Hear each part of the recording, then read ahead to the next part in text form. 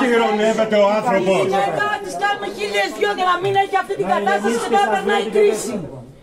Είμαστε μάρτυρες όλοι. Αν τη συμβεί το οτιδήποτε αυτή τη στιγμή Περάστε που είναι σε έξω. κρίση, θα, θα σε διώξουμε υπάρχει προσωπικά είναι δύο εσένα. η ώρα, η γυναίκα Αυτό αυτή ξεπερνάει, από τις ξεπερνάει πέντε η τις ώρα. υποχρεώσεις που, Ξε- που περάστε προκύπτουν έξω. από τη δουλειά σου. Να Να το φύγετε, ξέρεις. Ποιος ο διπλανός σου δεν τρέπεται λίγο. Ξεπερνάει. Να φέρετε έτσι ηρωνικά. Ξεπερνάει. Ντροπή.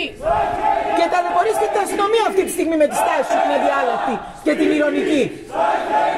Ακούς τι σου λέμε ρε. Ακούς. Ποιος νομίζει ότι είσαι εξουσία; Να σου πω ρε άνθρωπο. Τι να σου πω.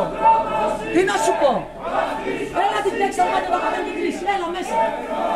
Έλα μέσα. Προηγουμένως. Προηγουμένως απειλούσες όμως. ε. Απειλούσες. Μη γελάς. Μη γελάς. Έλα μα θες να απειλήσεις. Κατάλαβες, μη γελάς. Να ξέρεις Μη τι θα γελάς. βάζεις όμως. Δεν τρέπεσαι, Δεν τα Νικάτα. βάζεις με μία μόνη της γυναίκα. Καθήκη του Τα και βάζεις με να άλλο πράγμα. Μη γελάς. Μη γελάς. Αφού ξέρεις ότι Μη γελάς. Μη δεν γελάς. θα λήξει η ιστορία. Καταλαβαίνεις, Γιατί μη δεν γελάς. θέλεις να πάνε και τα Μη παιδιά στη γελάς. δουλειά τους. Να ασχοληθούν με, με κρύα. Ήρωνα. Ήρθες εδώ να έρευνασεις τον κόσμο. Τι κάνεις εδώ; Τι κάνεις εδώ εσύ τόση ώρα; Αφού ξέρεις ότι σήμερα δεν θα εκτελέσεις τελικά.